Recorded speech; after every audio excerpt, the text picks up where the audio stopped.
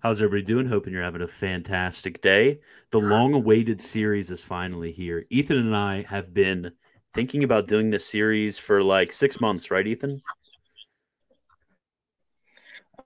Uh, about that, maybe even longer.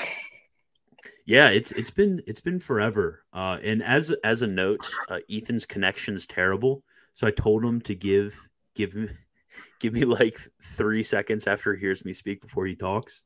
um, so this might this might. I was told to be the most judicious. I, I, told him to be very judicious about uh, his his speaking time, uh, so we're not like talking over each other all the time. But uh, this is the introductory episode, so if we mess it up, uh, it's whatever. Just remember that it only goes up from here, right, Ethan? Absolutely.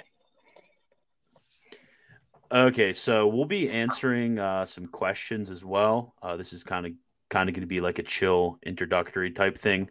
But first, um, I wanted to do a little bit of a personal introduction uh, because all of you know who I am. Uh, you know what I do, but very few of you, or actually maybe more than I think of you, uh, but probably very few of you know who Ethan is. So, Ethan, uh, who are you, and why should we care about what you say? Well, you probably shouldn't care about what I say like at all. Um, yeah, you should probably you should probably defer to you know the church and the theologians and uh, all the people who actually possess you know great wisdom. But um, I'm uh, I'm a friend of Christian's. I I went to school with him at uh, RBC or Reformation Bible College. Um, we ended up converting together pretty much through this entire huge process of complicated mess. And um, then I ended up moving up and living with Scott Hahn and went on Pints with Aquinas and all that. So you guys may know me from there. Um, I will have video on in the future. Right now, it's just kind of a kind of a odd circumstance, so I couldn't get it to work. But um, but yeah, I mean, uh, no no serious reasons why you should listen to any of my opinions, but um, I love to read theology and study it as much as I can, and uh, I'm a you know Christian and I talk about these things all the time. So hopefully I can contribute something. Yeah, we we kind of we kind of go uh we we've been like reading I remember uh when how long ago was it when you first got your copy of De Revelatione? Probably like eight, nine months ago, and you came up to visit, and we ended up talking about fundamental theology for a very, very long time. But yes, uh, fundamental theology, uh, we'll be getting into exactly what the heck fundamental theology is because a lot of people don't actually, like, nobody I know um, talks about fundamental theology in its proper sense. I've seen some people talk about fundamental theology as somehow like a broad, general sort of introduction to theology. Uh, but I've never uh, seen people speak about fundamental theology in the classical sense. And I think it's very helpful. Um, and it's very, um, it, it's something which we ought to uh, study as helping with a lot of the problems. I think uh, that the community of those of you who watch, uh, the type of people that watch uh, these episodes, are the type of people who watch my channel. Obviously, not all of you, but a lot of you, uh, young guys who are interested in theology, uh, fall into a lot of vices, intellectual vices, that would be solved um, by reading fundamental theology. I, I, think it's so important for that. I also think it's super important for when it comes to discussions with Protestantism. Um, it, it's it's really uh, I'm really really excited is all I'm saying just to uh, just to do this.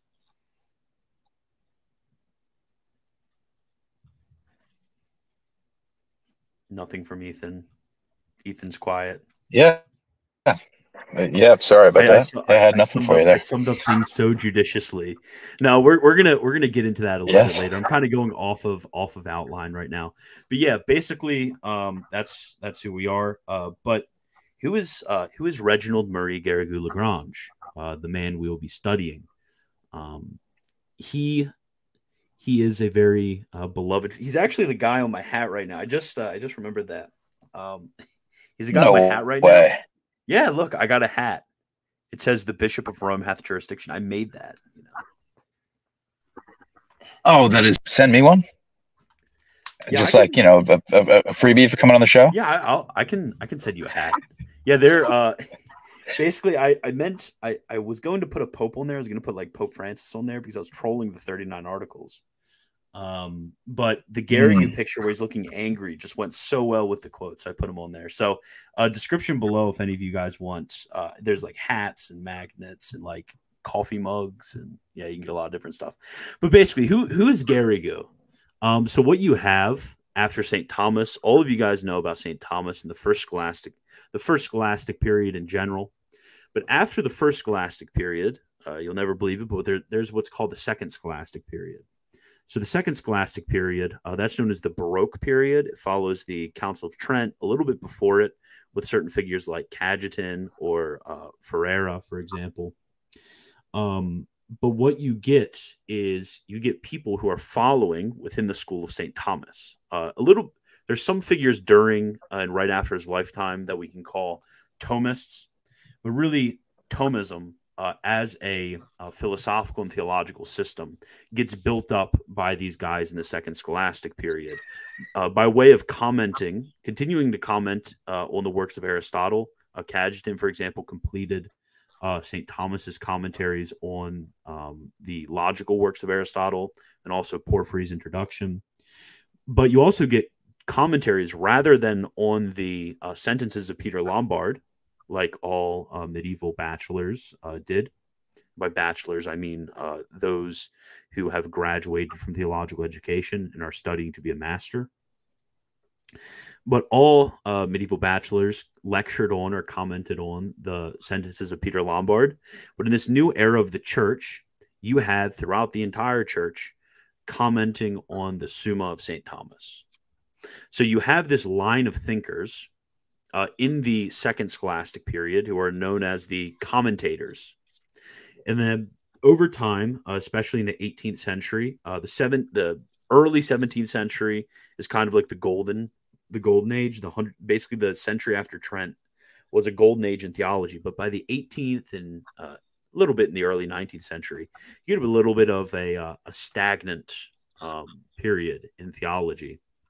And then uh, in the 19th century, you get this uh, retrieval uh, that starts to happen with uh, what are called the collegio theologians. Uh, certain theologians like um, Cardinal Perrone. If, if you ever, uh, if anybody knows, uh, he was the guy who actually trained St. John Henry Newman in Rome.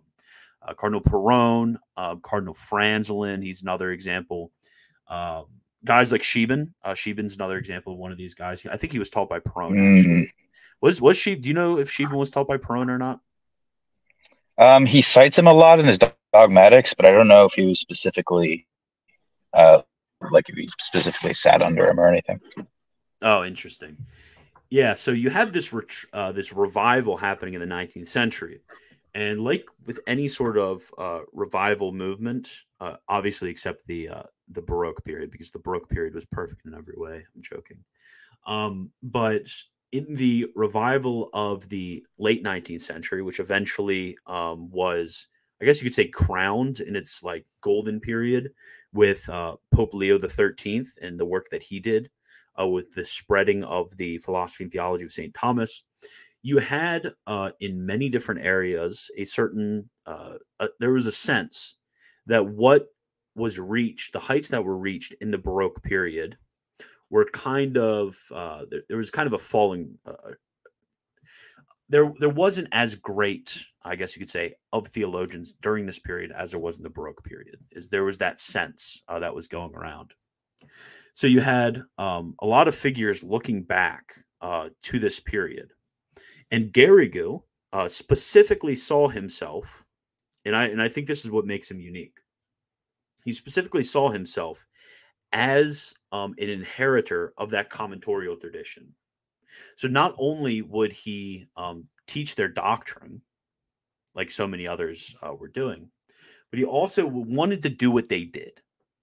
He wanted to um, he wanted to continue in their line of theology by actually acting like them, and then through that uh, also being like Saint Thomas. So he is he's a, a figure who not only has uh, wonderful powers of exposition in, in, following upon the tradition, he had access to all of St. Thomas's works, which were really cool. Um, a lot of generations didn't have access to all of his works, but only a limited amount of his corpus. So he was able to study directly and deeply the, the text of St. Thomas, along with what he had read from the commentorial tradition. from uh, some of the additions which were done during the Leonine uh, revival uh, era. So uh, Garrigou Lagrange, uh, French French Thomist, he follows in that line, and he's he's a, he has a very interesting, I guess you could say, charism, because he really is a um, a very in a very odd way, he's a very strong replication in this era uh, amongst uh, other other uh, theologians. Amongst other theologians, he he really is a uh, like a replica of Saint Thomas. It's really really uh, eerie, actually. You get him uh, being interested in much in the same things, acting in much of the same way. He was he was a very um, simple man. He was um, he was said to be a mystic. Uh, there's actually reports of him having uh, levitated before the uh, while contemplating beatitude uh, just like St. Thomas had had levitated.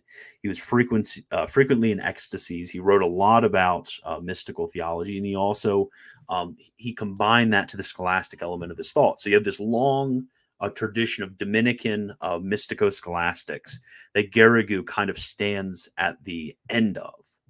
Um, which obviously we, we still have it uh, after Garrigou, but I'm, I'm, talking about like the the the greats, you know, the the ones who wrote the the um, the very popular uh, works because just like St. Thomas, Garrigou not only wrote to the wise, Garrigou also wrote to the simple. It's actually said in the canonization trial of uh, of St. Thomas Aquinas uh, by John the Twenty Second that uh, that St. Thomas his works were loved not only by the wise but also by the simple, because St. Thomas is uh, uh, William of Tocco calls it his simplicity of style. What he describes as simplicity of style. We don't think of him as simple, but he actually, relatively speaking, was quite simple. the same with Garrigou. The reason Garrigou's works got translated into English, a lot of people don't know this. If you ask yourself, okay, if Garrigou was this like egghead, you know, academic who uh, didn't really have uh, much traction, why were his works getting translated in English during his lifetime? The reason his works were getting translated in English during his lifetime is because he was so beloved by the Dominican tertiaries. So laymen who were interested in theology and wanted to read, they they loved uh, his works so much. They loved it so much. So this is this is really who Garrigou uh, is. He's this really amazing figure who's covering everything from mystical theology to Summa commentaries to philosophy to individual works on Mariology, providence, predestination. He has spiritual works, sermons.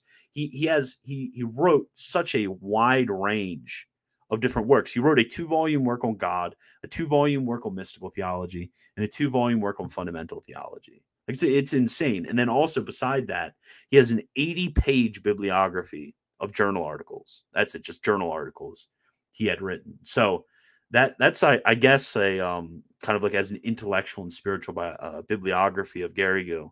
Um, that's well, biography of Garrigou. I guess that's the that's the best we're gonna get. Anything to add, Ethan?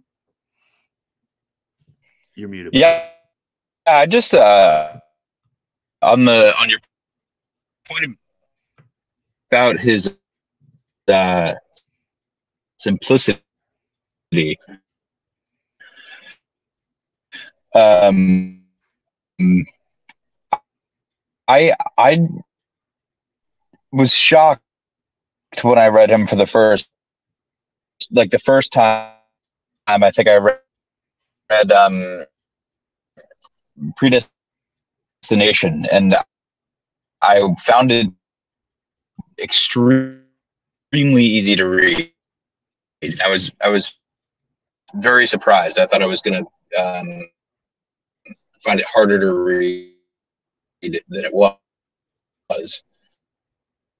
Um, and and yet while being easy to read he doesn't you know it's not like he's losing anything. He's just how things unfold from there. Um, he's one of my favorites to just read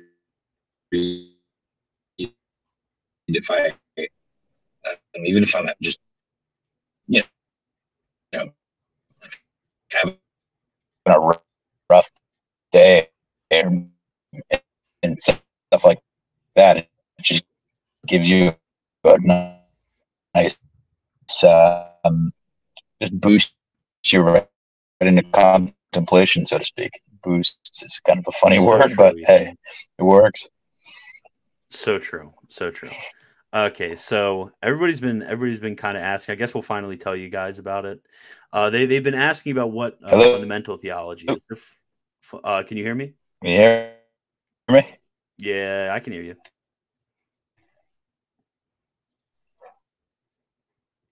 Rip. Okay, I'm gonna mute you for like a minute uh, while I get into the fundamental theology stuff to get your audio uh, recapped. Dang, is it letting me mute you? Oh no, Ethan Ethan has taken over the stream. It won't let me mute him. Rip. Could you hear me? So, um, Hello? yeah, you're kind of off right now. Okay. Christian? It's such a it's such a boomer moment right now for me. I can't figure out how to mute. Oh no, rip.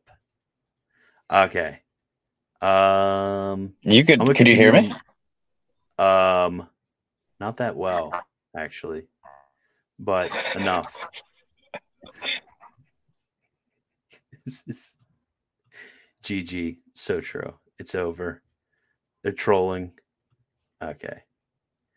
Mute me. Okay. Oh, wait. Okay. So we're going to.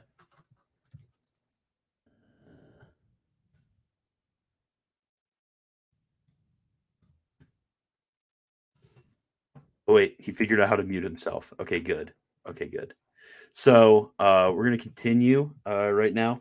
So, what exactly is uh, fundamental theology? Because uh, keep using this term, um, and a lot of people are confused.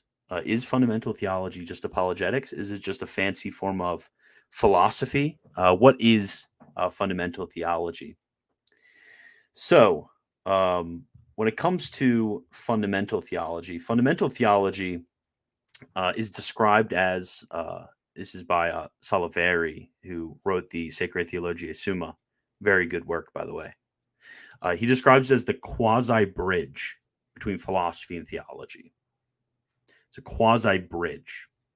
So, what fundamental theology does, it's it's properly a part of theology. It's not a part of philosophy. It's properly a part of theology. But what it does is it takes revelation. So we have this body of revelation from God, and it gives reasons why, or certain motives why, it uh, this revelation is credible. So it gives uh, it defends its own principles. That's what Saint Thomas says. It defends its own principles because the highest science uh, defends its own principles. Um, so it's wrongly reduced to like some sort of apologetics because by apologetics we think like okay we're we're going to be defending the faith we're going to be showing how these various propositions of the faith are contained in the deposit of revelation. That's not what it does. Rather what it does is it shows uh, by way of miracles by way of prophecies by way of the completion uh, that we find uh, in the in the catholic faith um, to human nature. Uh, that's a, a completion, perfection. Uh, I'm being loose with language right now. But through these means, we show the reasons why the revelation is credible. Because we can't properly prove, like we would, uh, for example, that, um, I don't know, the powers of the soul are really distinct from the essence of the soul. We can properly prove that from scientific principles but we can't prove revelation in that way. Um, because revelation is something which is above the domain properly speaking of um, of the human intellect something above the domain of the human intellect. So we can only give uh, sort of reasons of believability i guess if you want to put it like that like why it's believable. And the the way in which we can show why something is believable is the same way in which christ and the apostles uh, did it by pointing to miracles, by pointing to prophecies, by pointing to these things that could not have been um, produced by men. So, when it comes to fundamental theology, there's going to be three parts to fundamental theology. So uh, the first part is the uh, introduction to sacred theology. So in the introduction to sacred theology, uh, all we do there is we just show the um, the nature of theology, the divisions uh, within theology. Actually, some discuss the history of sacred theology. So that's that's what we that's what we do in that first part, and then from that, uh, we're going to discuss uh, De Revelatione, so De Revelatione is what's covered here, although uh, there's a brief introduction to sacred theology appendix to the front. But De Revelatione is on divine revelation. So we ask ourselves, what is revelation? Basically, it's what is revelation? Where is it found? Well, actually, never mind, not where is it found, but what is revelation and why should we believe it? That's what De Revelatione is covering. That's what on revelation is covering. Then the third part is De Locis. De Locis covers where is revelation to be found. So people were asking uh, before the uh, fun question of where is it? People were asking the fun questions about material sufficiency, uh, for example, or pardon, pardon. So that actually would be covered in De Locis. De Locis is this third part of fundamental theology. So De Revelatione doesn't cover um, in this book specifically, De Revelatione on divine revelation. This doesn't specifically cover um, uh, sacred issues surrounding the the fathers, sacred scripture, uh, basically the deposits of revelation or the channels or the sources of revelation, what uh, whatever language you want to use, or the places of revelation, or the fount of revelation whatever you want to use for where revelation is found and how we go from uh, how we go and take these points of revelation in order to make arguments that something is revealed that is that is all um, part of De Locis. So we're not covering that uh, here. Rather, we're just covering what revelation is. So this is going to take us into fun questions surrounding nature and grace, uh, and then we're also going to be uh, looking at the sort of why we should believe it and then next to this is going to be some fun questions surrounding how the ascent of faith works. So you get questions all the time from people struggling with the certainty you can have about the faith, how the church relates uh, in her promulgation of the faith to the uh, causality that uh, God has of revelation. These are a lot of different questions that are just going to be covered in De Revelatione. And that's why this is two uh, two thick, thick volumes. Uh, De Revelatione, fantastic. So uh, when it comes to its sort of place within the tracts, so up to up to this point, once you hit De Revelatione, uh, what's assumed here, at least in the uh, traditional ordering, is you go through uh, first logic, then natural philosophy, then metaphysics, then ethics. That's your sort of philosophy up here. And then uh, after uh, after uh, fundamental theology. You're covering things like De Deo Uno, which covers unity of God, De Deo Trino, um, on God the Creator, and then uh, your tracts on morals and blah blah blah. So the the place when it comes to uh, fundamental theology is it's going to bridge it, and it's going to bridge on both sides. So on the side of philosophy, it's going to tell philosophy the motives of credibility. So it's going to go over to philosophy and tell philosophy, like, hey, here's why you should go beyond that and why you should go to this uh, higher order of the supernatural order of knowledge. And on the other hand, uh, it, it looks forward and grounds. That's why it's called fundamental. It grounds uh, all of sacred theology because it gives it um, the matter of theology it gives it the th- the thing in which uh, well i guess the object of theology is actually the proper term gives it the object of of theology what it works with um, it also tells it its rules it tells it uh, a bunch of different stuff its nature there's a lot of stuff that de revelatione, de revelatione does for uh, theology as well so it's really one of those uh, lost gems of the older way of doing theology right now you kind of have um, apologetics, which is seen as something that internet people do, and rather than uh, people who are serious. But no, actually, De Revelatione is a very, very important uh, tract. Okay, Ethan says his connection is pretty solid now. So, Ethan, are you back with us? I hope so. Does it does it seem like you can hear me better? Oh, you sound you sound a you sound a million times better. Oh, that's excellent. Very good news. Glad to be back. Yeah, so uh, I was just I was just talking about like the the nature of fundamental theology, where it fits and such. The uh, what we discussed in De Revelatione. Uh, that's what I was going for. Excellent. Okay. Did you dive into the text at all, or just kind of no, no, I wasn't. Uh, Okay. Did you? If you wanted to dive into the introduction, uh, we can. But I wasn't planning on getting into the text at all. sounds good? Let's just stay outside of it for now. So somebody asked, uh, "Are there any works one should read before getting into this book?" Actually, I think uh, the sense of mystery, um, also printed by Emmaus Academic, um, would help a lot. Uh, I've I've just read that like within the last few weeks, um, and he um, breaks down a lot of things that are just very helpful to know. Like he works through um, a lot of the kind of um, philosophical precursors that are going to help you grasp um, some of the more difficult concepts in this book. So I think that's one you could go with, but I don't think it's strictly necessary if you're if you're familiar with like you know just the just the typical you know matter form uh, the the four um, causes things like that. Yeah, I'm actually going to. Uh, I'm shilling another Emmaus book. Um, Fenton's. Uh, what is it? Laying the foundation. That's what they call it. They changed the name on the Emmaus version. Yeah, laying the foundation. A handbook of Catholic apologetics and fundamental theology. This is. Uh, I've always kind of seen this as like an easier version um, of De Revelatione. Uh, but the easiest version is a non-Emmaus one, but it's still a Minard one. Uh, Minard's on uh, Duranzo. Uh, I guess I'll send that one. Sorry, Emmaus. I have to give somebody else some love. Uh, who, who, who prints this one? Um, I've actually been reading this. Uh, Aru- Aruka, Arouca Press.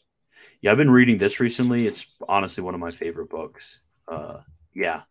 But this covers introduction to theology, revelation, channels of revelation, then the church.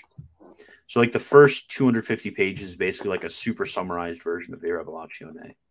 So, if you want to like a little introduction to it before you get into Garrigou, which is like a big, very detailed introduction to it, then yeah, you can check that out. Yeah, but somebody asked, does fundamental theology belong under the domain of philosophy, or is it a branch of dogmatic theology? Is systematic theology and dogmatic theology the same thing? And where does catechism fit in? Okay, this is this is some good questions. So fundamental theology, as I said, is a uh, it's not really a a branch of dogmatic theology because branch would kind of assume that like that fundamental theology kind of plays by the same rules and follows from like the same sort of it's just like another amongst many uh, when it comes to uh, what we're looking at but really grounds uh, the rest of um, theology. It's kind of like how mystical theology is the terminus um, of of contemplation. So like we we go up and, and around and we finally reach up to mystical theology which is the is the way in which the soul ought to ascend uh, from the contemplation of truth so in a similar way, uh, fundamental theology is kind of like that that floor uh, that we have from where we like build uh, the rest of the building, uh, if you want to put it like that. So yeah, but it belongs to dogmatic theology. The theologian, as theologian, uh, does fundamental theology. Doesn't just pretend to be a philosopher or anything. And then uh, systematic theology and dogmatic theology. Um, it depends upon who you talk to, language wise. So uh, systematic theology uh, generally is going to refer to something like scholastic theology, which is basically the um, the more we're going to get into this later uh, because there is a section on the introduction to theology, but it's the more precise definition. Um, so the investigation of revealed notions. So, for example, the word was made flesh. Uh, by flesh, we can more precisely define it as human nature, which we can define as rational animality. So the the contemplation of uh, revealed notions, and then also the scientific drawing from those notions of conclusions, the drawing of theological conclusions as well, um, is going to belong to um, systematic theology. Dogmatic theology, uh, some just mean all theology that discusses um, that those things which are of uh, faith rather than of morals. And then others uh, by dogmatic theology mean positive theology. So that would be the um, use of dialectical arguments uh, to provide the grounding of dogmas in the sources of revelation, uh, if you want to put it like that. Then where does catechism fit in? So catechism is like actually the the catechism. I don't know if you ever noticed this, Ethan. This is really interesting.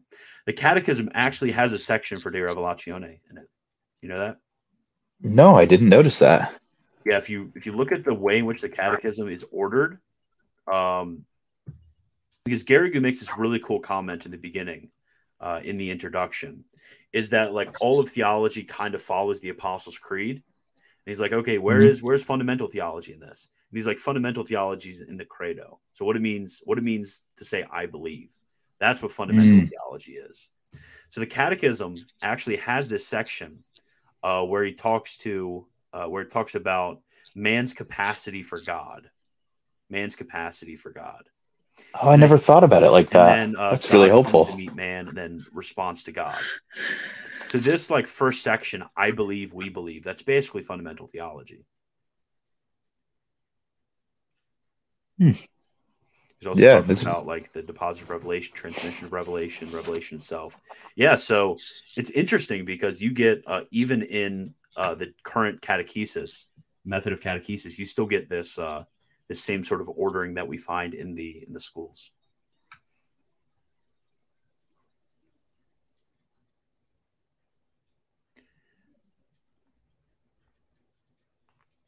What is the name? What is the name of what? oh, question. What is the name? what is the name? Okay, um, I'm gonna pull up actually uh, De Revelatione real quick. I want to read the introduction now that I that I said the whole I believe thing. So I guess we will get into the text. Do you have your book on you? Yeah, I do. Because I have the digital version, which no, I can't. Is there, is there still like a four second lag? I'm trying to figure this out. No, no. I think uh, I think we're good now. Oh, excellent.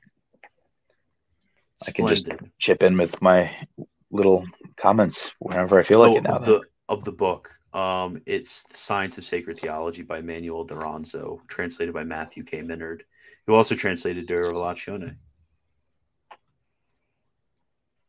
Um, okay, man, I was I was reading way past in some random place. Okay, man, I got to go through this whole introduction now to get to the place where I'm thinking. Yeah, the author's preface. Oh, this is so good. Every every single word that has ever been uh, that has ever written in De Revelatione is a good word. Mm -hmm. Where is this Trying to figure out how to do this. It's such a boomer moment right now. Yeah, usually is with you. It's true. I, I know I'm boomer. I'm finding out how to share my screen. Jeez. I've been doing this for so long, and I still don't know how to share my screen. Of course, I'm uh, I'm the one calling you a boomer when I don't. I, I literally dropped out of the stream due to connection problems. Dude, I'm I'm about to make the most boomer thing ever. I'm about to copy and paste the text and put it in a Word document. no, no. share my screen. I can't figure out how to do this. I, I don't know why. I don't know why it's like this. This is this is like, oh my! I am I am such a boomer right now. Did we not get you a PDF? No, you guys didn't give me a PDF. Uh, oh. oh wait, I mean yes, I mean uh, maybe, I mean kind of. Uh, did have a PDF, maybe I don't know. Um, don't ask incriminating questions, uh, Ethan. Okay, so yeah, this is the author, the author's preface. Very, very good stuff. So he's here going to be explaining. Oh wait, I'm going to mute you real quick. Actually, mute yourself unless you want to talk because there's a little bit of feedback. Mm, okay. Okay. So the author's preface, this is just him kind of like going into what De Revelatione is about and why he wants to write it. It's really good. So this treatise on Revelation proposed by the Catholic Church contains the whole of apologetics, namely the defense of the divine origin of Christianity and of the divine institution of the Catholic Church for preserving and infallibly proposing revelation. These two forms of defense were considered together by the third session of the First Vatican Council. Uh, thus, the apologetic part of the treatise on the church is connected with the treatise on Revelation or on the true religion. However, this is not the place for considering the intimate constitution of the church, nor theological sources, locis theologicis, uh, both of which must be treated later on in the properly theological manner. So, what's going on here? Um, it's really important. Is uh, and this is what actually I think Garrigou is quite a master of is ordering the uh, is explaining and uh, going into the proper ordering of the theological treatises. It's just like fantastic how he does it. Um, because he right here he's correctly identifying. He's like, okay, what I want to do is I want to present Revelation, why you ought to believe Revelation, why it's divine. So this is going to get us into some topics, which are going to um, surround, obviously, uh, the uh, the church, the church as um, said to be condition of revelation, the church as proposing revelation. But but um sorry, River Run is is distracting me right now. But we don't treat the church in its intimate intimate constitution. So we don't treat the church um in, for example, uh, if we wanted to ask the question of like how the the bishops relate to the Roman pontiff. De Revelatione wouldn't be a place for that. De Revelatione would be a place for uh, discussing, for example, the the marks of the church, which are the um, the signs that we can look to in the church um, to where we know that it's it is of divine origin. So we're very clear. We're different. We're looking at different aspects of different things, but always under the same light. And uh, River Run, um, to get to get Wagner some live stream training. I know I'm I'm so I'm so bad. I'm so bad at it. But uh Ethan, do you have anything to say about that? Um no, not not a whole lot. Um it's pretty straightforward stuff. Yeah, namely by arguing from Revelation itself, already infallibly proposed by the Catholic Church. So every other, uh, this is super important. So every other tract on theology is going to presuppose de revelatione because it's going to assume that uh, we've already um, shown that revelation uh, that it is credible that revelation uh, is infallibly proposed by the Catholic Church. So from that position,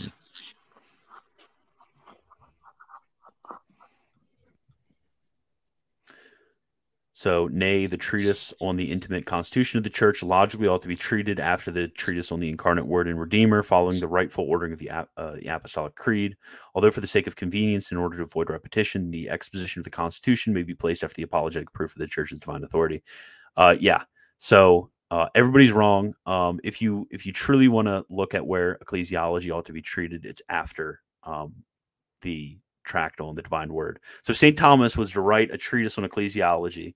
If he would have if he would have wrote a tract on ecclesiology in the Summa, he would have gotten it right after uh, right after the incarnation. Some people try to place in the front. I don't like that. Garrigou says it's apparently acceptable. I guess I'll listen to him.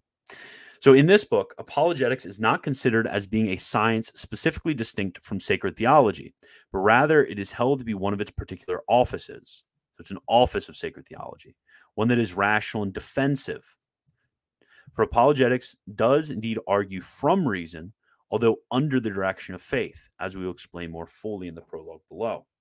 Hence, this work is conceived as being a work on fundamental theology, that is, theology considered with the foundations of faith, or to put it another way, as a critical reflection on the on the value of supernatural knowledge of faith. This is actually um, Scheeben this is really interesting. You might be drawing from Scheeben here, actually. Um, because Scheeben, when he when he talks about uh, his version of De Revelatione, it's really like supernatural epistemology is kind of how he views it. It's really hmm. interesting. Yeah, that's uh, helpful. I, it wouldn't surprise me at all. Mm-hmm, mm-hmm. So, uh, but I think I feel like Gary Garrigou, at least uh, from yeah, I know STS. I, I was very, I'm very disappointed uh, in the STS uh, that it that it places it where it does. But that was really common in the manuals, unfortunately. Um, but yeah, when when it comes to uh, Garrigou's treatment, it's a lot less uh, individual, I guess, if you want to put it like that. It's a lot more, uh, a lot more corporate. Um, I, I think, or universal, I guess you could say. But like Scheeben is kind of like digging around in like the brain of somebody. Like I guess it's the best way of putting Scheeben. Scheeben's like digging around in the brain and heart of people, like while he's writing, and like uh, he's being like very like it's almost uncomfortable reading him. How he's just like peering into the depths of your soul. But like Garrigou was just like looking at like things from like ten thousand feet above and like giving you really good universal principles. I find I find Garrigou much easier to read for that reason, and then it, I'd almost say read him before you read uh, Scheeben, if that's how we want to say it. Um, he's just easier to uh, grasp, I think, and then it makes it much easier when you go to read his works after you've read um, Scheeben instead of after you read Garrigou. Mm. Yeah, so he uh, he continues, however, in order for fundamental theology to be complete, it must include not only the whole of apologetics, but also the treatise on theological sources. And it's De Locis, and it's also called Fontibus Theologicis. Um, actually, I've heard it, uh, Fontibus Revelatio, uh, De Fontibus Revelationes, but uh, I guess it's also there, there's like 10 different names for each one of these treatises, especially on sacred scripture, divine tradition, the magisterium of the church. Because what you have uh, with fundamental theology is fundamental theology just lets you know revelation right here de locis here are the sources you go to uh, because the terminus it's really interesting because the terminus of um, uh, de revelatione is you're looking at the um, the preaching the preaching of revelation by the catholic church it's really important is there's a unity uh, to um, revelations proposed. It's the preaching of the Catholic faith by the Catholic Church is divine in origin, because the Church stands there as uh, said to be the condition of revelation. So you can't you can't uh, so you, you can't kind of graft De Revelatione. Uh, I actually asked a professor one time who uh, had is um, is well read in Garrigou uh, in, this, in this uh, work by Garrigou. And I asked him, like, hey, do, do Protestants like kind of have a De Revelatione? And they don't. And they really wouldn't be able to go off of our versions of De Revelatione because De our, the terminus of our proof, um, our apologetic proof, is uh, is revelation as preached by the Catholic Church, which is why um, you're, you're really going to find no other work like this. No other religion is going to have anything like De Revelatione. The Catholic religion is the only one who's able to uh, defend herself in this way. It's really, really, um, it's really, really cool, actually. And I, and I think uh, as I've studied De Revelatione more and more, I've studied through a, a, few different authors, the way in which they put things, the way in which they organize things, and express the proofs of things. And it's just, uh, it just makes me uh, more and more sure in like a subjective sense, because obviously faith uh, is objectively certain of its of its object, but like in, in a sort of I guess you could say sense of affections, um, just extremely uh, certain in that sense. Uh, in in the fact that yeah, we're we're the we're we're the real deal. Like the Catholic Church is the real deal. We we have like two volumes explaining um, what what revelation is and what are the motives of credibility for believing it. And nobody else really has anything uh, when it comes to motives of credibility, and it's uh, it's pretty sad actually. And I, and I think there's and I actually think there's a lot of reasons for this.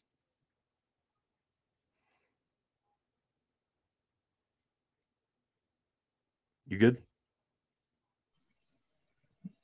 Me? Yeah, I was just wondering. Oh yeah, yeah. Um, why did feedback come through or something? Nope, nope. I was oh, just that that right. seemed like something you would wanna you would want to harp on. Oh no, yeah, no. I guess I just didn't have anything for you there. Have, uh, yeah, there's that. like no no Protestant version of De Revelatione. Like, I know. Yeah, as, like I, I, was kind of caught up in thinking about that. Actually, I think is what happened there. Um, was, I, I was wondering like why it, just because it lacks the like like why exactly yeah why exactly is that um because you'd think we could they could have some kind of discussion about well, I mean, I guess just the, their their definitions of faith um, and not properly distinguishing between um, nature and grace would make it very it. difficult for them to even arrive at that concept.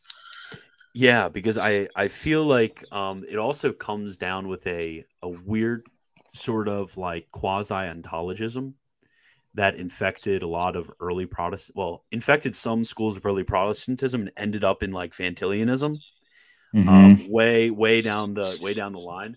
I think I think the reason for this is because there's not an adequate distinction between philosophy and theology.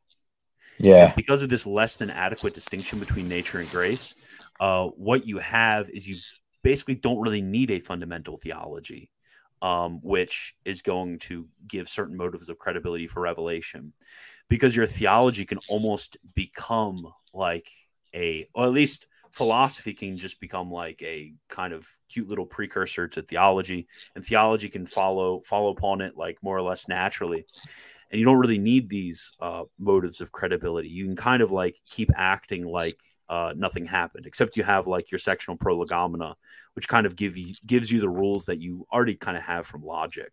Um, so yeah, I I think uh, I, I, think it ends up becoming like a uh, a souped up uh, natural philosophy is basically what mm-hmm. theology ends up becoming um, within the uh, within the Protestant world.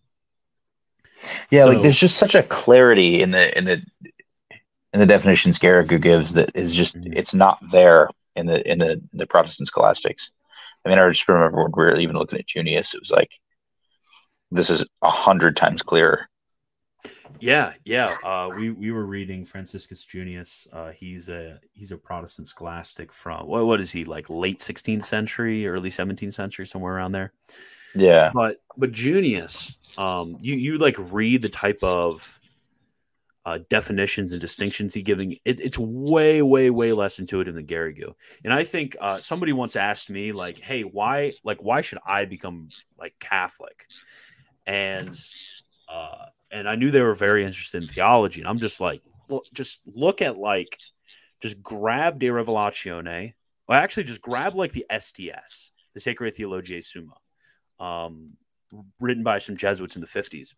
And just like look, like read like five pages of that on like an issue you disagree with, agree with, whatever it may be. And tell me that you have produced something like that. Tell tell me like w- at least like one of your thinkers who has written like an entire book that is that is as erudite as like five pages of the STS. It it, it can't really be done.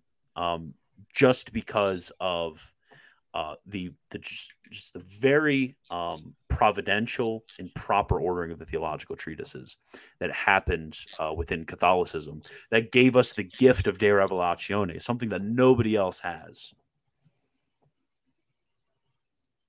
Yeah.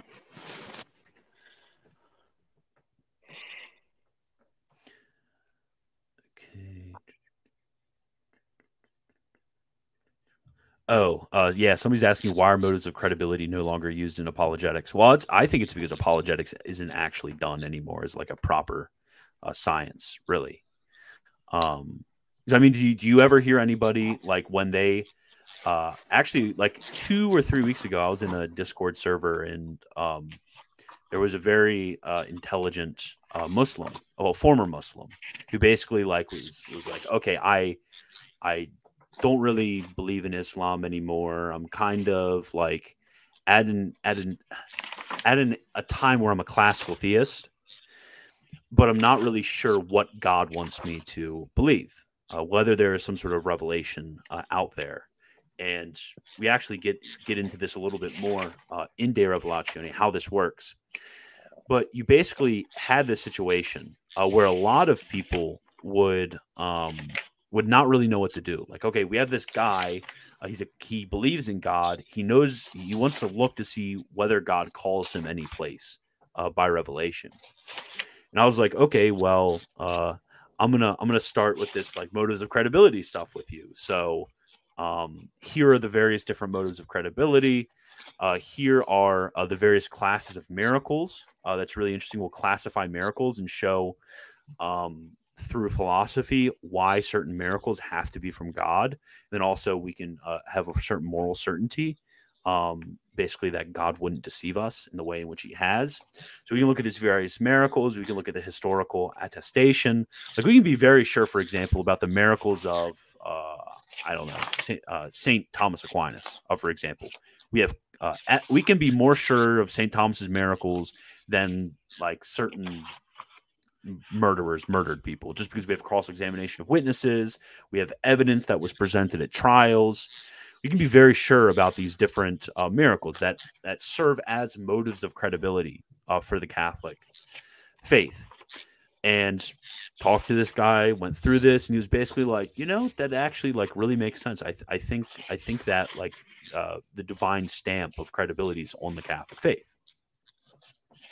Now that that's like sort of the um the like the power, I guess you could say, of of uh, something like De Revelatione is De Revelatione is going to show you uh, what we do kind of with somebody who is now has some sort of doubt about their current religious state and wants to inquire into the Catholic faith. Rather than doing uh, it's something you said to me actually Ethan uh, that's always stuck with me um, you didn't know that that you were actually saying that it's in De Revelatione. I don't think you knew that it's like st- staying in fundamental theology, broadly speaking. But you said like at about the beginning of when we started inquiring into the Catholic faith, you're like it's all about prolegomena. It's all about like these first things about how we ground the rest of theology. This is where it's all going to stay. And uh, now we know it's really all about fundamental theology. And if uh, if we can get people reading and studying fundamental theology and looking more into it, that that would uh, that would bring about a lot of fruit in the way in which people do theology and also the way in which people do apologetics. No, yeah, that's exactly right. Um, I think um, I was I was thinking about it as you were talking there. I mean, first the first thing when you were talking about um, how apologetics isn't really done anymore, um, there is a distinction. I can't remember where it's made. I know uh, Dr. Mittard put a footnote and everything on it, but um, but he, where he, he distinguishes between um, like the defense of one particular topic in theology and apologetics itself as a science. Mm-hmm. Um, like we, that's what we, that's what, that's what apologetics is online. Like we call it apologetics, but it's really just like treating one particular subject, um, which doesn't really, um, it doesn't really always help since a lot of those things presuppose faith to begin with. Mm-hmm. Um, and so, especially for arguing with people who don't grant, you know, that, that God speaks to men, um, you're not yeah. going to get anywhere. Um, secondly, um, on on what you were saying about me making the comment about it all it all being about uh, prolegomena, yeah, I mean, I think any um, convert is going to recognize while reading this book that this was the process that they went through. Mm-hmm. Um, in a very real way, like um, seeing, you know, signs, miracles. Um, and then it all culminates, I'd say, for every convert I've talked to in recognizing the uh, miraculous life of the church. Um, and seeing all of that together, um, it just creates this beautiful, um, yeah, like it's just beautiful. It stands out um, in such a way that you recognize it's not a merely human thing. Yeah, um, it, it, was it was like su- it's super eerie uh, when you're a convert who like was because I mean both of us were kind of very self-reflexive about our own conversion, about the own affections of our souls, and the um, and the way in which we uh, progressed in into like Catholicism, and having having that sort of experience and thinking about it a lot and talking to people about it a lot and then reading something like de revelatione and then having just like when he talks about like the way in which conversion sort of happens he's just like putting before like your eyes exactly what happened with you and it's just like huh, that's like real it's like eerie uh, almost yeah it was it was yeah it was um like shocking to read and recognize that he was putting in a system what what had happened mm-hmm. um like concretely in life, you know. Okay, so I'm going to continue in the introduction. So, hence, uh, we have given the following title Fundamental Theology Apologetic Part. We added according to St. Thomas's doctrine based, because the texts of St. Thomas pertaining to the matter at hand are carefully chosen and ex- uh, explained for each question at hand. In this way, one will have a true introduction to the study of St. Thomas Aquinas' Summa Theologiae. I actually didn't pick up this part uh, on, on like my first like three readings is that he did m- mean this to be like an introduction to reading the Summa as well. That's really interesting. Did you notice that? I did not notice that. I I swear I've read like this author's up? preface no, like four times. Original? I know I've read that preface so many times. Is that in the, in the original? How did neither of us notice this? We're so bad. We're terrible. Well, that that makes a lot more sense of why when I go back and read the Summa, I can make a lot more sense of like where it's coming from. Uh huh. Okay, yeah, this this yeah, because St. Thomas didn't have like really a uh, proper fundamental theology um, treatise. He treats miracles, which kind of cover uh, something similar. Um, but yeah, here is here is uh, basically Garrigou writing for St. Thomas a uh, fundamental theology manual, just as St. Thomas would have. But uh, in this, our critique of the value of supernatural knowledge of faith, especially in the speculative part of the work, will develop its arguments in opposition to philosophical rationalism. This is going to be really, really interesting, uh, actually, because um, this was this was something I felt like a bit of bit of like a fish out of water uh, reading is reading all of the stuff of him critiquing uh, certain uh, continental philosophers. So um, I'll, I'll, I'll have to uh, be very judicious uh, with my exposition of those parts. Uh, I, I, think while, while it while it may uh, there there's always like the critique of like oh this or that thinker like straw man this straw man that like blah blah blah blah blah. Um, who cares honestly? Uh, but really really who cares because it's um, because really uh, Saint Thomas teaches uh, error is meant uh, to present the truth to us in a uh, in a clearer manner. So, who cares if Saint Thomas uh, was misrepresenting Kant? Because whatever bastardized version of Kant he happened to present to us, uh, still uh, is able to help us contemplate the truth um, because that's really what errors meant. Just like I don't care about the whole like was Nestorius a Nestorian or was uh, Eutychius uh, Eutychian or uh, whoever. I, I, I don't really care about those questions because really, um, the error is actually help uh, helping us be able to provide the the truth of golden mean as as Garrigou calls it. Well, this is it, like a this is a warning right there that we don't really care about being accurate you know, with other people. I don't know if that if that's your if that's your only if your only goal is to get to is to show you know what is true, then in a certain yeah. sense it doesn't matter. But um, in in another like you know we really need to treat those guys as like people, you know, mm. um, and consider their actual um, thoughts and think about what what do they actually mean and argue against them on their own terms. Um, yeah, it's just it's, it's just it just depends on the end we're you know seeking. Are we seeking mm. to argue with Kant, or are we seeking to explain, you know, the treatise on on divine revelation. Um, we're not really seeking to do the latter here, at least. Maybe in maybe somewhere else, sometime in the future. I think what's uh, what's really, really, really important is recognizing that when he says Kant, he means Kantians. Uh, and when he says like Descartes, he means Cartesians, and so on. Yeah. Uh, because really, what you have is a lot of these the original thinkers present um, they are much more brilliant than their. That's why, like, I don't like criticizing some of the uh, like original Nouvelle Theologie guys because I think they were very brilliant. Uh, obviously, I I know that there were some um, more radical guys who fell under Garrigou's wrath very rightly. Um, but there's other there are others guys who are a lot more moderate, uh, very brilliant. Um, so so it's hard to be like very harsh with them. Uh, but on the other hand, they're followers. you usually don't reach like the same level of uh, brilliance. So when we speak about like the new, when we speak about like the De for example, um, we're, we're speaking about a very different group of people than like De Lubac himself or, or like the, uh, um, I can't think of another example, but ba- yeah, basically when it comes to dealing with, um, like Kant, he really means the Kantians. He means those who follow Kant and what they're kind of uh, saying about what Kant uh, says. Okay, so um, continuing. Uh, this so because lengthier arguments against biblical rationalism by right fall into an introduction of, to sacred scripture and exegesis. Therefore, to accomplish our own end here, we will treat at length of the notions of revelation, mysteries, dogmas, and supernaturality of faith, and the notion of credibility by comparing Catholic notion of all these various matters with heterodox notions of them Some readers will perhaps think that our treatment is longer than is necessary for beginners. Nevertheless, in the course of teaching this subject for eight years, we have noticed nearly all students, especially the most talented of them, need all these explanations for the resolution of naturalist uh, thinkers' objections. This is going to be actually really fun because we're going to be looking at naturalism.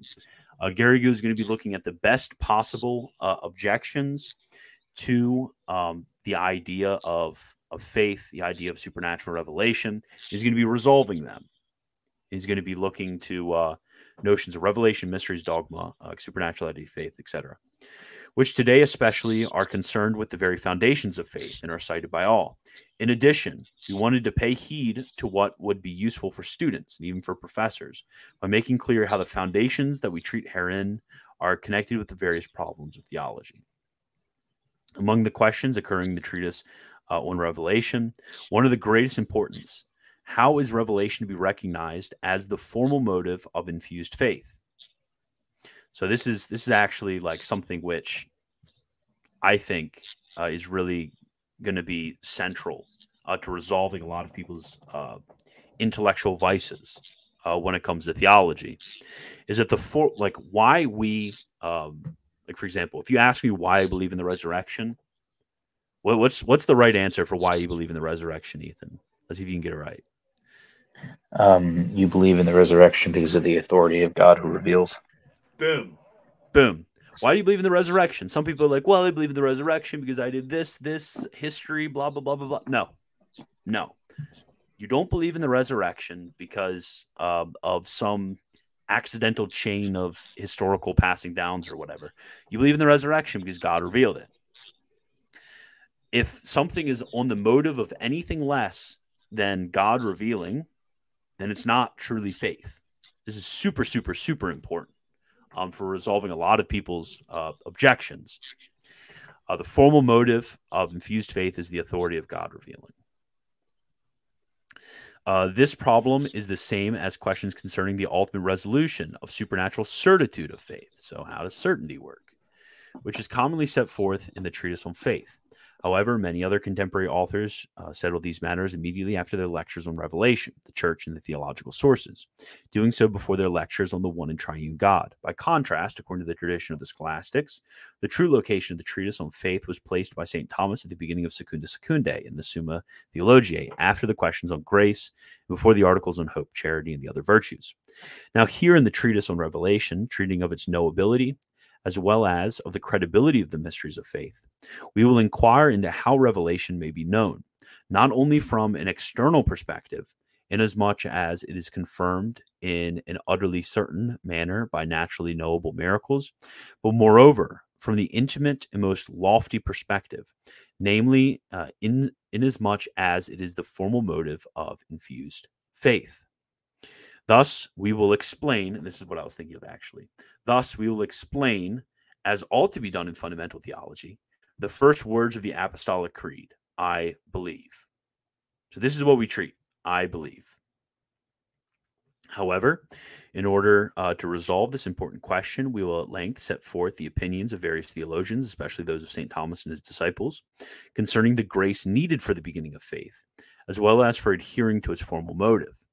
According to these illustrious authors, supernatural faith is not discursive and is not formally and intrinsically founded on natural certitude regarding the fact of revelation known on the basis of miracles, but instead is founded on supernatural revelation itself. What does this mean? The motives of credibility, they don't somehow become the motive for our sense of faith. Rather, the motive for our sense of faith is always um, supernatural revelation. This that would be, be Pelagianism. Like, exactly. Exactly. This is what we're all like. This entire treatise, it's kind of funny. What we're always trying to stop ourselves from doing is becoming Pelagians. always. That's just been Christianized entire life. you know when we were uh, when we were reformed, we used to think that Pelagianism was just like um, was merely like denying the effects of sin. Yeah, crazy. pretty much. I mean, yeah, we were, or like, we were, or like so any, silly. or like any kind of movement, um, like of the will apart from God, um, which we didn't even distinguish between nature and grace well enough either. Like you can have God being the one moving nature to its ends and yet still be a Pelagian. uh, because you don't have supernatural grace involved as Yeah, exactly. and that's that's the other thing. Like Pelagianism is Yeah. denying the elevation of grace, where they were just like, oh, you have some sort of like motion, divine motion present in nature. Um, it, it was like it was really really weird because they like substituted, um, like basically what what what you had is like in the Catholic view, you kind of are like here in nature, and then like grace kind of takes you into like a whole new dimension. But with them, they're thinking about like, okay, okay, we have nature right here. Fall into sin makes nature worse, and then you have grace, which brings us like slightly above nature. But we're like still in the same domain, you know. But, like Catholics are just like, okay, we have nature going here, and then it's just like grace takes us completely off of the charts, you know, takes us to a completely new dimension mhm. because grace uh, grace is going to be a participation in the supernatural life it's not going to be anything which is even creatable like god couldn't create um, a creature to which nature to which grace would be natural to it so good. If you want to read anything on this, guys, read uh, "The Glories of Divine Grace" by uh, Scheeben. Just you will cry reading it. It's so good. it's true true you know what you know what makes me sad though What? uh, about we're about to have one of our many uh, Scotus trolling moments. Um, but uh, Oh, Scotus, here we go. Scotus, Scotus thinks that uh, God create could create a creature to which um, grace was natural to it. Boo! Boo. Boo! Yeah, but uh, that's actually something we'll be covering later. So that's fun. Yeah. But now we dead got to cover the boring introduction. But which, under the uh, infused light of faith, Boring. simultaneously that by which what is believed is believed, and that which is believed, or that which is entrusted to the mysteries. Indeed, the apologetic demonstration concerning the rational credibility of revelation has the character of being only a support or a disposition of an inferior order for the supernatural act of faith. So, this is important to remember because a lot of you might have heard what we've said so far and be like, okay, so if we can like proof that these miracles happen, then we can get people to like assent to the faith, right? Is that how it works? No. No. You're being a Pelagian. All of you are Pelagians. Pelagianism is, is no, that's not how it works. Rather, I think we need a shirt for that. All of you are. Pelagians with, all with you of you pointing. Pelagians. Just like we- picture we- Scheeben on there. I think we have to screenshot that exact moment and put it on a T-shirt. It's true. It's true. All of you are Pelagians. Every single last one of you. Because it is the motives of credibility. They do not. They do not like elicit somehow the act of faith. They don't bring it about. They are a support. They dispose in an inferior order uh, for the supernatural act of faith. It's kind of like uh, I don't know. This is about to be the worst illustration ever, but I don't care. Um, it's kind of like how when I make coffee. Do you know what a mocha pot is? No. No. Well, oh wait, actually, I need to solve this real quick. Uh, he says miracles do not compel faith because faith is free. Um, also because miracles are actually something which still are not intrinsically supernatural, but only motively, uh, modally supernatural. Faith is far superior to miracles. It's true. But uh, a mocha pot is this contraption, I guess you could say, for making espresso. You like you, you put it on your stove and then you like warm it up beneath and the espresso actually like comes out on top. But you add water to the bottom. And what I found out is is a good practice is you are supposed to um, warm up, like boil the water and then put boiling water in the bottom and then warm it up. So like quickly uh, comes out rather than having to Mm. have the water warm up and everything. So basically, the the motives of credibility is the difference having the motives of credibility versus not having the motives of credibility. Um, and this uh, this analogy is going to fall short, uh, but it's basically the difference between like having putting the cold water in and putting the warm water in. No matter if it's cold or warm, it's still not going to make coffee. You still you still need to put the coffee grounds in up there, and you still need to warm up the bottom and have it go through. It's not going to make coffee just by warming up the water. Rather, it's going to dispose the water in in the disposition of an inferior order towards the making of the coffee. This is yeah. This is such a you example right here. Um, But a- just but it's taking something it from fits, your it no. It, it it fits. It fits. But but so does um, so does like you know, me going and going and uh, cleaning up a crime scene and and uh, scraping all of the blood and uh, you didn't explain the fact that you work in crime scene cleanup. So to be fair, this is a really oh, weird, fair enough. This is a fair really enough. weird comment. Yes. Okay. Fair enough. Fair enough. Yes. I, I I work in I work in crime scene cleanup. So we go in and you know if there's blood all over the ground, we clean it up and rub up the floor and everything like that. Um, it, it's it, it's a similar thing. It's like, hey, somebody's got to live here. You can't just have them move in if there's a bunch of blood on the floor. You know, you kind of have to remove it and um, put the rest of everything else in order before somebody else can come in and live there. But I think the best example we could give here is just the one Jesus gives with you know the parable of the sower. Um, there's several um, seeds that are planted in different places. Some land on rocks, some land on you know um, in thorny areas. Others land on well-tilled ground. Um, so the the the matter or like the lower thing is disposed to receive the form or the act, which is like the seed thrown on the ground that is made for the seed, and the seed can grow there. Um, I think that's a good example of what we're trying to do in apologetics. Not um, give people faith, but just clear the way so that they Yeah. can make the act, so they can, you know, receive grace. Yeah, Saint Paul. He he makes a similar comment when he's like, uh, "I have I have uh, planted, and then Apollos has watered, but God gives the growth." Yes, exactly. Exactly. Like the, Exactly. the the motives of credibility is the planting and watering, but without the uh, without the motion of God to bring about the growth in plants, we're not going to get any plants out of it. Exactly. Yeah. I mean, there's a real sense in which, yeah, like the preacher needs to know, or the the you know the one going out and converting people. Why don't I have the term missionary? Um, needs to have needs to know this stuff inside and out because they're gonna run into people who don't have faith.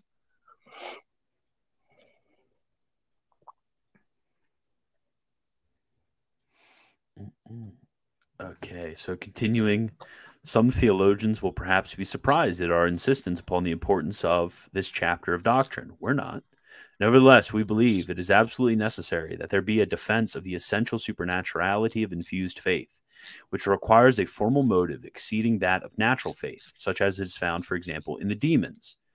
Yeah, so if you have a, if you have a natural motive uh, for natural faith in God, you have the faith of the demons. A motive, I say, which a uh, fortiori exceeds that of the opinion that a formal heretic can preserve concerning the truth of the mystery of the incarnation. Indeed, St. Thomas says, the species of any given habitus depends on the formal character of its object, without which the species of the habitus cannot remain. Now, the formal object or motive of faith is the first truth, as manifested in the sacred scriptures in the church's doctrine, which proceeds from the first truth. And therefore, whoever fails in achieving this means is totally lacking in the faith. This is super important as well. And it's like everything he says is super important because when when it comes to Wow. uh, when it comes to certain uh, acts and habits, they're formally specified by their object, by their formal object. So that's why, uh, for example, we can't have um, a certain angel that's created with natural um, the natural beatific vision because the beatific vision has um, an a, an object that's essentially supernatural, formal object that's essentially supernatural. So order meaning meaning that it pertains specifically to God's knowledge of Himself. exactly right so like unless the angel um, was infinite eternal being of itself then um, then it could not have that that knowledge by nature this is exactly why we're gonna we're gonna rag on scotus a lot here Mhm. yeah, on this exactly what particular issue um, because he, he he makes it depend on the will of god um, that um, that the angel wouldn't be able to have beatific vision by its by its nature for example we're going to say it's it's necessary because it's just simply metaphysically impossible that that, that it would be the case um, exactly. So, this so is why when it comes to I've- faith, that's not to say a- scotus is like awful but you know uh, on this issue Speak for pretty yourself. awful. Speak for yourself. uh, on this Um, issue at least But what, Pretty when, it, when it comes to when it comes to like the ascent of faith, this is why we need a supernatural light, supernatural object, first truth, God under the formal aspect of His uh, deity is the formal object of the ascent of faith. It has to be supernatural all around, because if it fails in any one aspect, it's going to be natural. Um, so the formal motive can't be something natural. It can't be um, the uh, motives of credibility. They, they merely dispose us. it has to be uh, God revealing, which is why our intellects, by grace, need to be raised up um, beyond uh, its exigencies. It needs to be raised up beyond um, its its normal sort of powers and abilities, if you want to put it like that. So, uh, this chapter concerning the mode of our knowledge of revelation, as it is the formal motive of infused faith, perhaps be more difficult for students beginning a course of studies in sacred theology. However, for their greater benefit, we will summarize it more clearly in a concluding section so that they will not need to re- uh, read through these things that are set forth in smaller typeset concerning the matter yeah, sorry, uh, we're we're not going to be reading through all the smaller typeset stuff, or this this series would take us like five years. Um, we're definitely going to dive into it at some points, but most of the time we're just going to go through the big text. Yeah, we'll just summarize. Later on in the course of their theological studies, they will perceive the importance of this conclusion. Generally speaking, fundamental theology is difficult enough if it is treated deeply and integrally. Indeed, we find ourselves here concerned with the remote and proximate foundations of the supernatural certitude of faith. So that's what it's all about. And therefore, it is not surprising if all these matters are thoroughly understood only after a complete study of sacred theology, even though they are necessary for an initial understanding of the subject, at least in elementary manner. This is actually really cool, and I, I actually kind of get this. Um, is basically what you need is you kind of need like a two-fold approach um, to, and fundamental theology is always going to be like this. Is um, I, have read simpler, easier introductions um, to fundamental theology, like Doronzo or like um, Fenton, or even somebody mentioned earlier, Woodbury also wrote one that I've read. So needing needing or, and then obviously De Revelatione as well. And then the STS one as well. Um, but reading these uh, reading these sections on fundamental theology, at once you're gonna you're, it's gonna help just introduce all of theology for you. But eventually, as like I read more stuff, I find myself going back to fundamental theology and maybe like picking up Garrigou and being like, okay, I remember he discussed this in one place in a very important way that I think is going to affect this. Uh, for example, I've been reading some stuff about um, the uh, whether Christ would have become incarnate had man not fallen.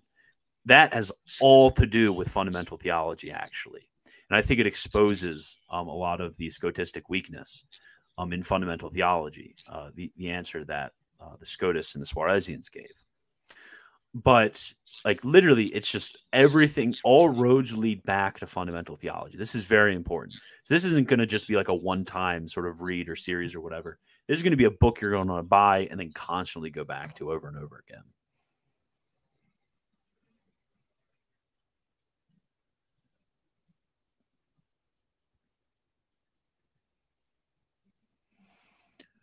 Okay so uh, hence, the study of fundamental theology can be profitably taken up again at the end of the course of sacred theology. And in this way, one can thereby undertake a critical reflection after having direct knowledge of theology. In fact, we gave these lectures de Revelatione in accord with the scholastic program of studies through several years in two forms, namely in an elementary fashion for beginning students, uh, though in a more rigorous and detailed form in a course for students in the more advanced studies. Therefore, note well that we have written out in smaller type those things that are not necessary for beginners, although they nevertheless are the use of the more diligent readers. We have divided the whole treatise into two books, the first of which is concerned with the possibility, befittingness, and knowability of revelation.